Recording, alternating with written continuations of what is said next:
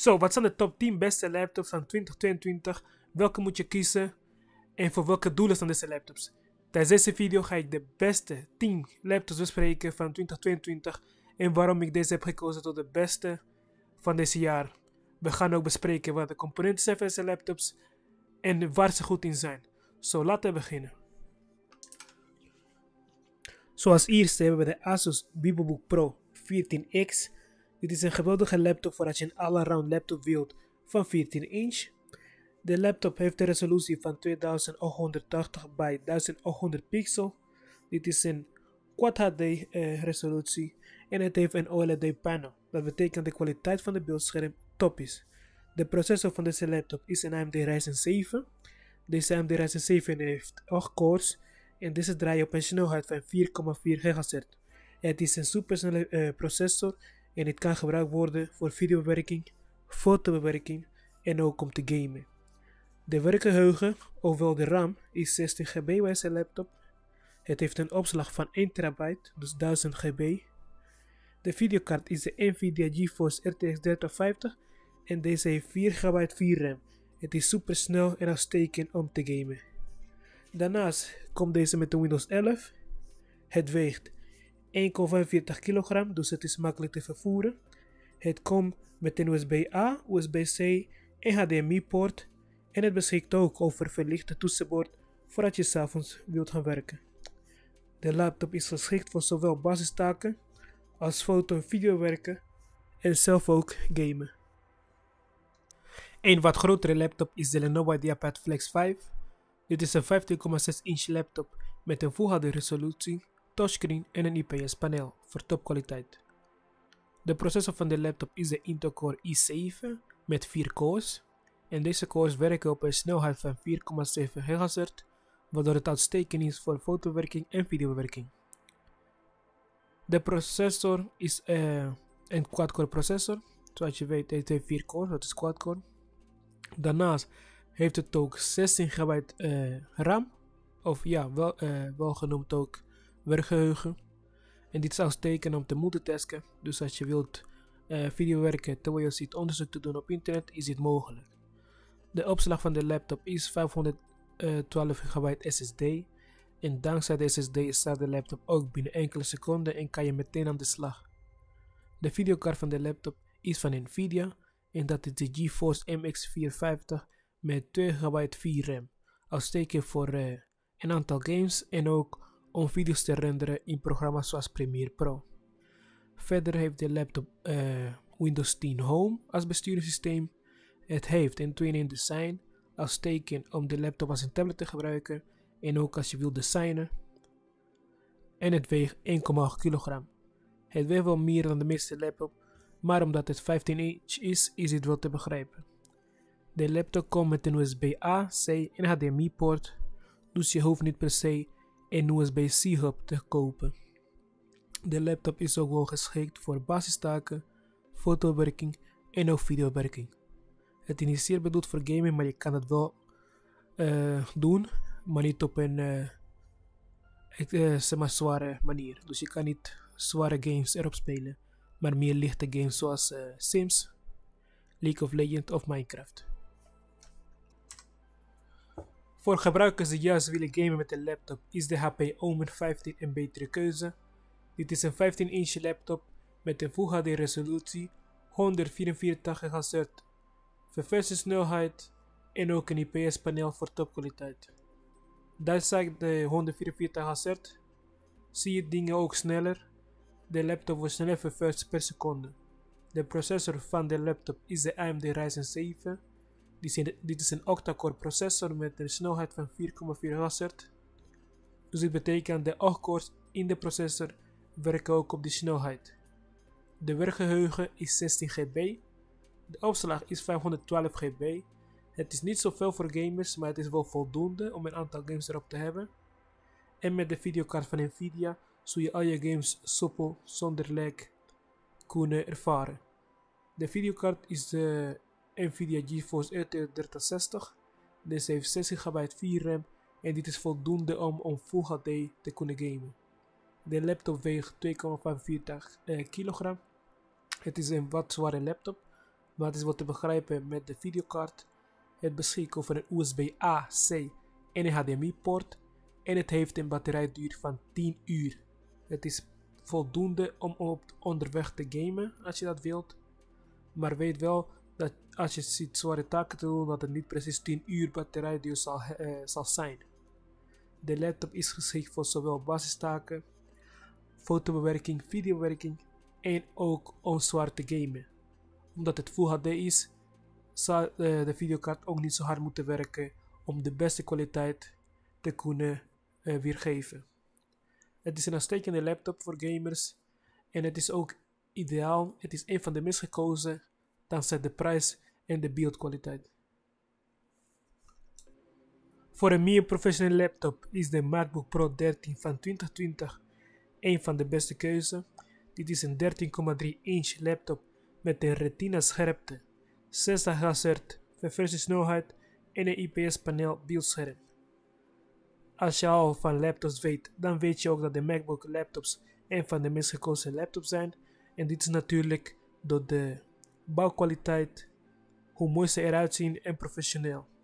De processor van deze nieuwe laptops van MacBook is de Apple M1 chip. Dit is een processor met 8 cores die draaien op een snelheid van 3,2 GHz.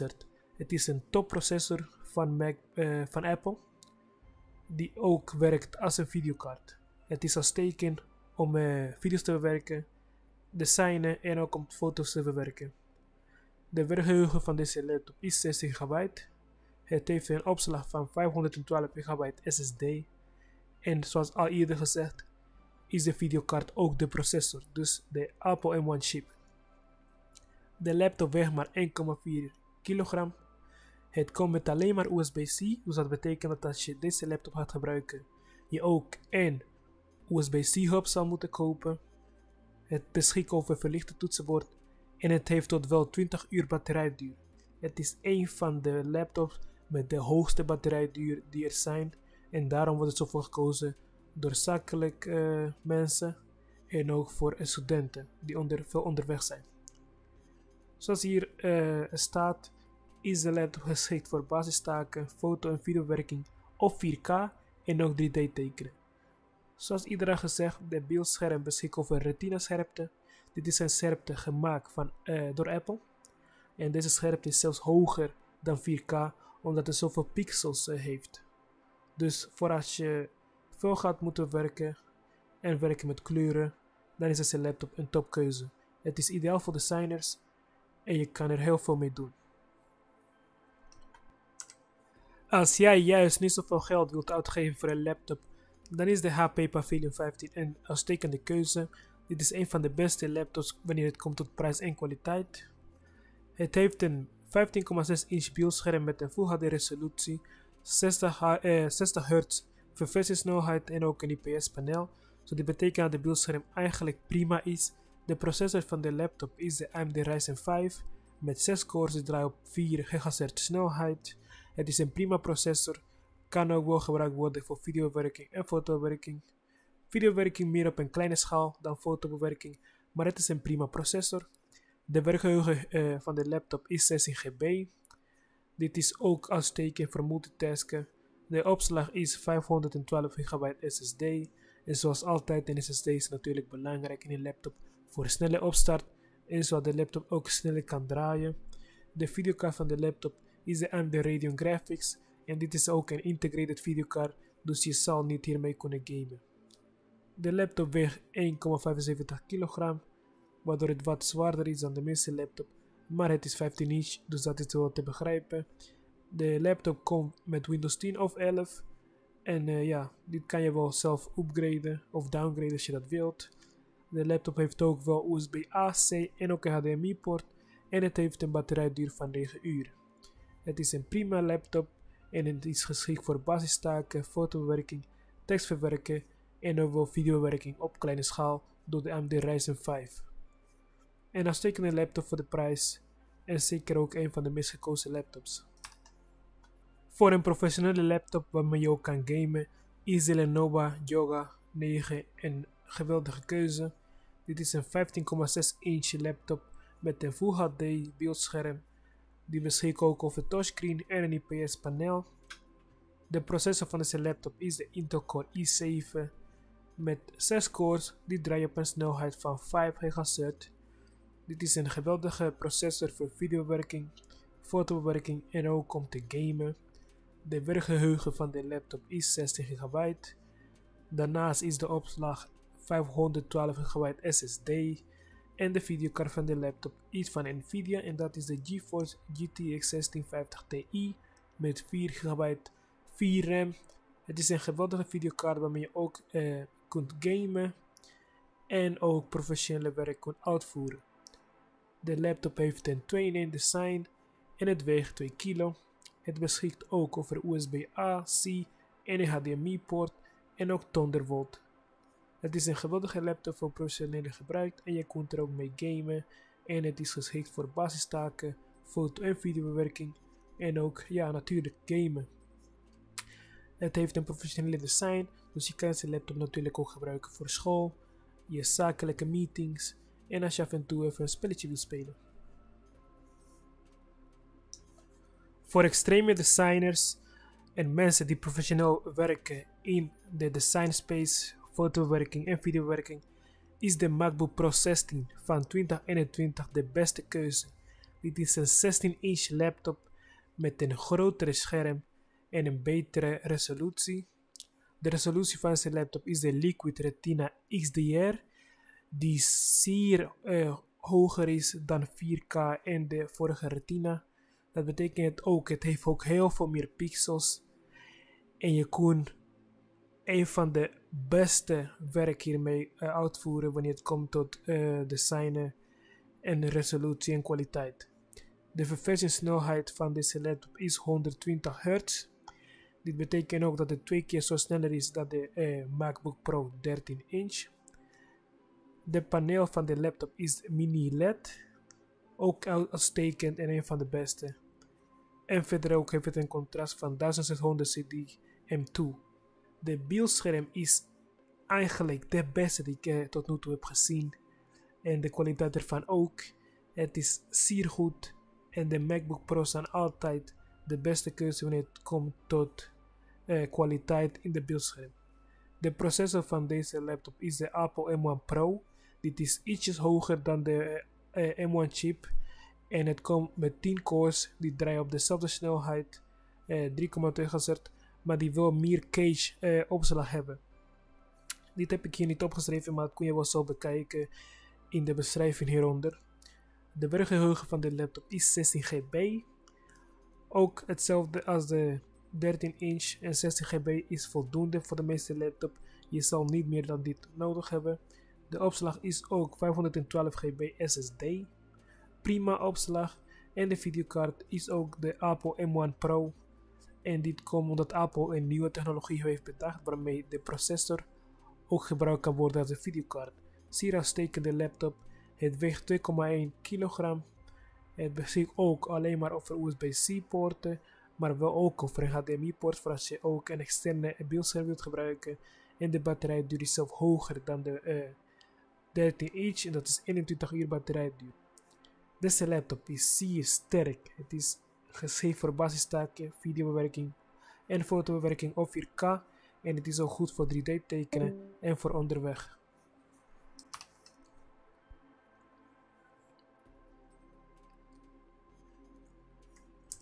Als jij graag een kleinere laptop wilt, denk bijvoorbeeld een laptop voor onderweg of als je gaat op vakantie of voor een familieleden, dan is de HP Pavilion X360 een topkeuze. Dit is een 14-inch laptop met een Full HD resolutie, touchscreen en een IPS paneel. Een geweldige beeldscherm, topkwaliteit en zeker voor de prijs. De processor van de laptop is ook de Intel Core i7 quad-core met de snelheid van 4,7 GHz. De 4 cores draaien op deze snelheid en de processor is ook uitstekend voor zware taken.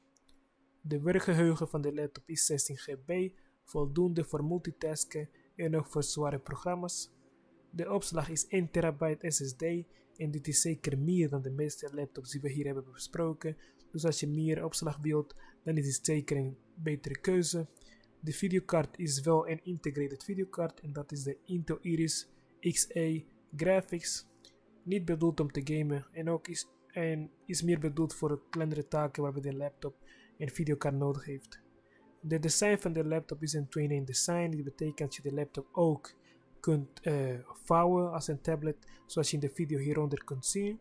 De laptop weegt maar 1,56 kilogram. Beetje zwaar, maar ook niet. Je kan deze wel makkelijk meenemen. En omdat het 14 inch is, is het ook niet te klein, maar ook niet te groot. Dus je kan ook je series en films op Full HD resolutie uh, beleven. De USB-poorten bij deze uh, laptop is USB-A, USB-C en ook een HDMI-poort. Handig voor als je moet presenteren als student of als je ergens uh, in je werk moet presenteren of een externe uh, beeldscherm wilt gebruiken. Het toetsenbord is ook verlicht, dus het heeft een verlichte toetsenbord. Je kan ook s'avonds werken als je bij je familieleden bent om ja, s'avonds wilt skypen of een meeting hebt, dan kan je deze natuurlijk ook gebruiken. De batterijduur van de laptop is 8,5 uur en dit is ook best wel hoog vergeleken met de andere laptop in zijn uh, range, in zijn prijsrange. Zoals je hier kunt zien, de laptop is geschikt voor basistaken, foto- en videowerking. En uh, zeker ook voor andere zware taken zoals bijvoorbeeld programmeren enzovoort, dankzij de Intel Core i7 processor.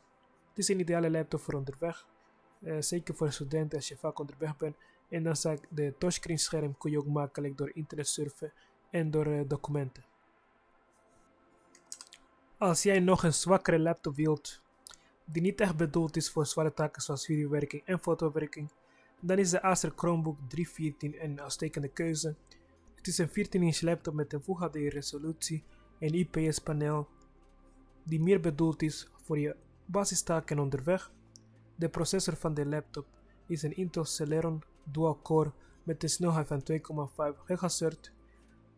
De RAM van de laptop is 4 GB de opslag is 64 GB flash en de videokaart is de Intel UHD Graphics 600. Dit is natuurlijk een Chromebook. Chromebook laptops zijn zeer snel en hebben ook niet zeer sterke componenten nodig. Ze zijn meestal meer bedoeld voor je dagelijkse taken, zoals eh, internet, series en film kijken en je mail lezen. Je kan ook natuurlijk ook eh, eh, Office pakket gebruiken, dus je documenten bekijken enzovoort. En het wordt meestal gekozen door uh, middelbare studenten om uh, verslagen te maken en presentaties. De laptop weegt 1,5 kg, het beschikt over USB-A, USB-C poorten en het kan tot wel 12,5 uur werken op batterij. Is een prima Chromebook, prima laptop, maar het is wel, het is wel belangrijk om te weten dat je niet elke programma die jij wilt erop kunt installeren, omdat alle programma's van de Chrome, uh, Chrome uh, app komt. Dus de Chrome Store, de Google App Store. Dus je kan niet bijvoorbeeld Windows programma hierop installeren. Je bent limited. Het is wel goed om te weten dat deze laptop meer bedoeld is voor als je een aantal programma's alleen maar wilt gebruiken die niet zeer complex zijn zoals bij Windows en je veel gaat internetten. En als zeker een laptop, het is ook zeer goedkoop. Je betaalt ook heel veel minder dan bij een Windows laptop. En je krijgt ook heel veel meer snelheid daarvoor. Ik raad je wel aan om deze te checken als je niet zoveel zware taken wilt uitvoeren. Omdat de prijs ervan zeer gunstig is.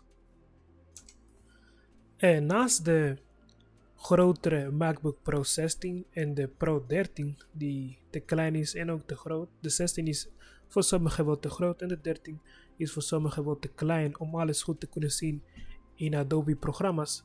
Heb je daarnaast ook de MacBook Pro 14 van 2021. Dit is een 14-inch laptop van uh, Apple met ook de betere uh, resolutie, de Liquid Retina XDR.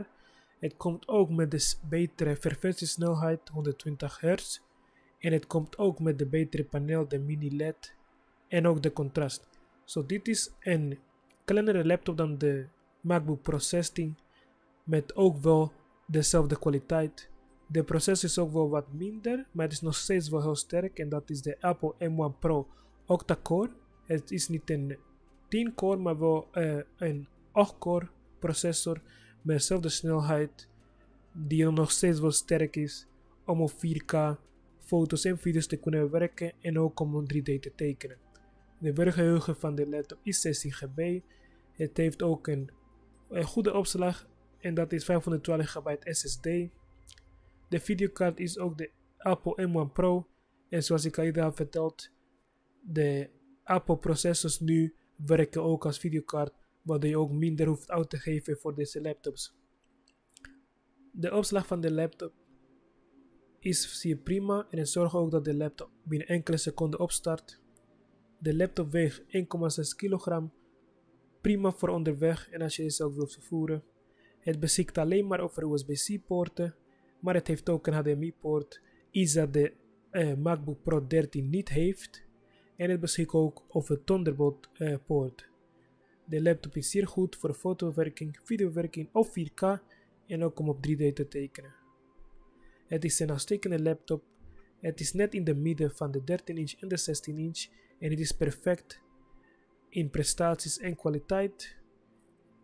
Gewoon ideaal voor als je een grotere scherm wilt dan 13 inch, maar alsnog wel die beeldkwaliteit uh, wilt hebben van de 16 inch. Een uitstekende laptop en zeker een prima keuze voor als je tussenin wilt zitten. Zo, dit is het einde van de top 10 laptops van 2022. En natuurlijk blijven deze laptops veranderen. Dus daarom heb ik voor jou een link in de beschrijving. Waarbij je precies de beste laptops op dit moment kunt bekijken. Dit is uh, een filter die ik heb gebruikt om de beste laptops voor jou uit te kiezen. En er zijn natuurlijk ook een aantal tips voor je heb. Dus ten eerste, kijk wat de webshop waar je deze laptops gaat kopen. Is het Coolblue of Bol.com. Deze hebben ook een return policy van 30 dagen. Gebruik filters, uh, filters om betere laptops te kunnen kiezen. Denk aan filters zoals 14 inch, 15 inch en die 7 processor of een AMD Ryzen 7. Kijk naar de verversiesnelheid. Ga je gamen, kies dan voor 120 Hz of meer. Kijk naar de toetsenbord. Veel mensen vergeten dit. Heeft het toetsenbord wel licht, kan je s'avonds mee kunnen werken. En uh, ja, verlicht het wel. Is het wel voldoende? Want ja, je wil natuurlijk s'avonds je laptop kunnen gebruiken. Als je gaat gamen, koop dan een muis voor eh, FPS game. De laptopmuis is meestal niet handig als je gaat gamen met de laptop. En een uh, extra muis is natuurlijk wel handig. Als je deze laptops wil kijken, zitten ze in de beschrijving. Daarmee help je ook de channel om te groeien en onze website. Verder hebben we ook de link. De eerste link die je zal zien in de beschrijving is ook de link om de top 10 beste laptops op dit moment te kunnen bekijken. En dit zijn natuurlijk wel bij de meest bekende webwinkel voor laptops en dat is Coolblue Zo, check ze hieronder en ik zie je in de volgende video.